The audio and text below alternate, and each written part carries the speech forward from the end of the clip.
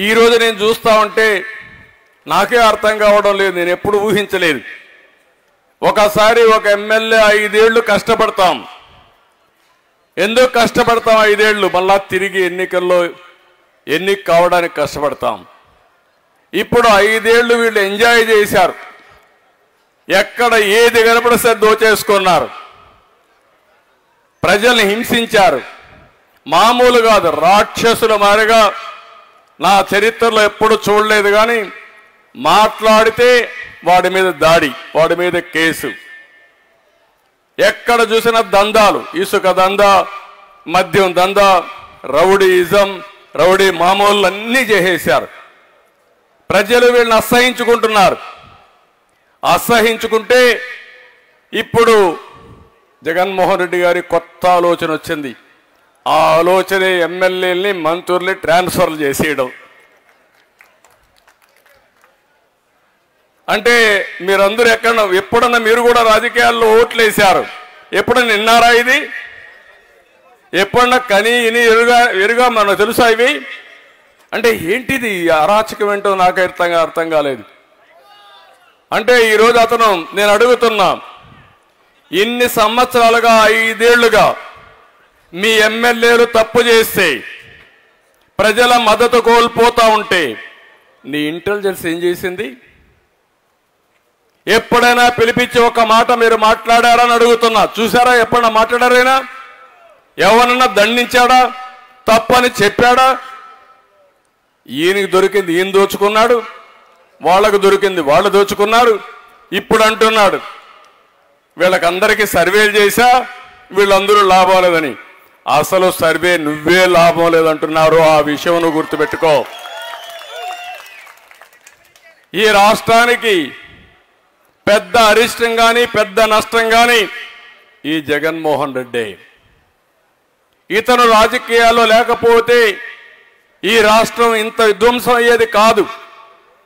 ఒక పోలవరాన్ని మొత్తం రోడ్లని ఇండస్ట్రీస్ అన్ని తరిమేయడం ఒక అమరావతిని నాశనం చేయడం ఏ ప్రాజెక్టు పూర్తి చేయకుండా పోవడం విపరీతంగా అప్పులు తేవడం ఇష్టానుసారంగా అధికార దుర్వినియోగం చేసి అవినీతి చేసి కడాన మీరు చూస్తే రిషికొండ లాంటి హిస్టారికల్ మాన్యుమెంట్ని ఎక్కడికక్కడ తవ్వేసి ఈరోజు అక్కడ కూడా ఒక పెద్ద ఇల్లు కట్టాడు ప్యాలెస్ కట్టాడు.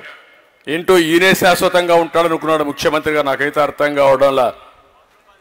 ఐదు వందల కోట్ల రూపాయలు ఖర్చు పెట్టి ఒక ప్యాలెస్ని కట్టుకున్నా అంటే ఏ విధంగా సమర్థించుకుంటామని అడుగుతున్నా.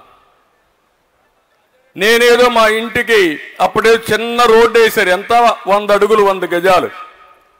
దానికే ప్రతిరోజు విమర్శించిన వ్యక్తి ఈరోజు మీ ఇంటికైతే ఫోర్ లేన్ రోడ్ వేసుకున్నాను నేను దాని గురించి కూడా మాట్లాడడం వల్ల విపరీతంగా సరే అవన్నీ నేను చిన్న చిన్న విషయాలు నేను మాట్లాడలేదు కానీ ఈరోజు అమరావతిని విశాఖపట్నానికి తీసుకుపోతానంటే కోట్లు ముట్టుకాయలు వేసే పరిస్థితికి వచ్చింది. ఈరోజు కూడా సుప్రీంకోర్టుకు వస్తే మళ్ళా ప్రయత్నం చేస్తే చాలా స్పష్టంగా చెప్పి ఏప్రిల్ తర్వాత మాట్లాడతామని ఏప్రిల్ తర్వాత ఉండడు మళ్ళా తెలుగుదేశం వస్తుంది. నువ్వు చేసేది ఏమీ లేదు. నువ్వు రాజధాని మార్చలేవు. నువ్వు విశాఖపట్నం పోలేవు. కానీ విశాఖపట్నంలో ఉండే ప్రజల్ని మోసం చేయడానికి ప్రయత్నం చేశావు. అది దారుణం అని చెప్పి నేను మీకు తెలియజేస్తున్నా. అంటే అసాధ్యమైన పని తెలిసి ఏ సాధ్యం కాదని కూడా కూడా తెలిసి వందల వేల కోట్ల రూపాయలు లాయర్లకు డబ్బులు ఇచ్చి ప్రజాధనాన్ని ట్యాక్స్ పేయర్స్ మనీని దుర్వినియోగం చేసే పరిస్థితికి వచ్చాడు. అదే బాధ అని చెప్పి నేను మీకు తెలియజేస్తున్నా. ఈరోజు మనం చూస్తే మొన్న ఒక పదకొండు మందిని మార్చాడు. నిన్న ఒక ఇరవై ఏడు మందిని మార్చాడు. మొత్తం ముప్పై ఎనిమిది మందిని మార్చానంటున్నాడు వేసానంటున్నాడు. దీంట్లో ఎవరు వీళ్ళంతా? నా బీసీలు నా ఎస్సీలు నా ఎస్టీలు నా మైనారిటీలు అంటాడు. అందరిని వాళ్ళే మార్చేశాడు. కడవాళ్ళు ఎవరిని మార్చలేదు? వాళ్ళ వాళ్ళంతా కూడా మొన్నటి వరకు ఏమంటున్నాడు? నేను పుల్లను పెడితే గెలుస్తారన్నాడు ఇప్పుడు పుల్లను కాదు వెళ్ళింది పెట్టి గెలిపించలా? సమాధానం చెప్పండి. అంటే ఇవన్నీ కూడా మనం చూస్తామంటే ఓసారి అనిపిస్తుంది ఒక అవగాహన లేని వ్యక్తి రాజకీయాలను పూర్తిగా అపవిత్రం చేసిన వ్యక్తి రాజకీయాలను అపహాసం చేసే వ్యక్తి మంచి చెడుకు వ్యత్యాసం తెలియని వ్యక్తి. ఇది మంచి ఇది చెడు ఏమీ తెలియదు ఆయనకు ఒకటే తెలిసింది. ఏది దొరికినా దాన్ని మొత్తం కాజేయడం బకాసురుడు మారిగా ఉన్నాడు. అక్కడి నుంచి ఎవరైనా మాట్లాడితే వాళ్ళ మీద కేసులు పెట్టేయడం. ఇప్పుడు కూడా మీరు చూస్తున్నారు ఇప్పుడు కూడా కేసులు పెట్టేస్తున్నారు. ఇది తప్ప ఏమీ తెలియని వ్యక్తి ఈ వ్యక్తి మొత్తం వాళ్ళ పార్టీనే కాకుండా రాష్ట్రాన్నే గందరగోళంలో నెట్టేసిన వ్యక్తి వ్యక్తి. నేను అందుకే ఈరోజు కోరుతున్నా రామచంద్రయ్య గారు కానీ మిగిలిన నాయకులు చెప్పినట్టు నాకు ముఖ్యమంత్రి కోసం నేను ప్రయత్నం చేయడంలా. తెలుగుదేశం పార్టీ జనసేన అధికారం కోసం నేను ప్రయత్నం చేయడంలా. ఐదు కోట్ల ప్రజల్ని కాపాడుకోవడం మనందరి బాధ్యత మనందరి కర్తవ్యం.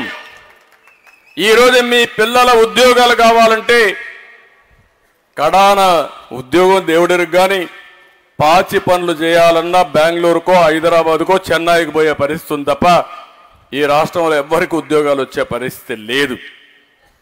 ఇలాంటి పరిపాలన మళ్ళా కంటిన్యూ అయితే ఒకటే చెప్తున్నా. ఈరోజు ఎంత భయంకరమైన పరిస్థితి అంటే ఈ రాష్ట్రానికి ఎవరున్నా రావాలన్నా భయపడిపోతున్నారు. ముప్పై ఏళ్ళు నలభై ఏళ్ళు కష్టపడి సంపాదించిన సంపాదన ఆస్తుల్ని ఒక పోర్ట్ కావచ్చు ఒక ఆస్తి కావచ్చు ఒక ఇండస్ట్రీ కావచ్చు ఇవన్నైనా మెడ మీద కత్తి పెట్టి వాటా రాసిస్తావా సస్తావా అంటే రాసిచ్చేసి ప్రాణం ఉంటే బలిసాగు దీని బతకచ్చని పారిపోయే పరిస్థితికి వచ్చారంటే ఈ రాష్ట్రంలో ఎవ్వడికి రక్షణ లేదు. నిన్ననే విశాఖపట్నంలో ఒక దళిత అమ్మాయి పైన పదకొండు మంది అతి దారుణంగా పైశాచికంగా రేప్ చేశారంటే ఈ రాష్ట్రంలో లా అండ్ ఆర్డర్ ఉందా? ముఖ్యమంత్రి విషయం పట్టించుకున్నాడని అడుగుతున్నా. ఇలాంటి వ్యక్తి ముఖ్యమంత్రికి అర్హత ఉందా అని అడుగుతున్నా. నా పీరియడ్లో ఒక ఇష్యూ జరిగింది. పిడుగురాళ్ళలో ఒక మైనారిటీ అమ్మాయిని కొంతమంది రేప్ చేస్తే ఇరవై రెండు టాస్క్ ఫోర్స్ కమిటీలు వేసి ఎక్కడ భూమి మీద ఉన్నా వాళ్ళ పట్టకరమ్మని చెప్పి పంపిస్తే మూడో రోజు ఊరేసుకుని ఆత్మహత్య చేసుకొని చనిపోయాడు. అది తెలుగుదేశం పార్టీ సత్తా.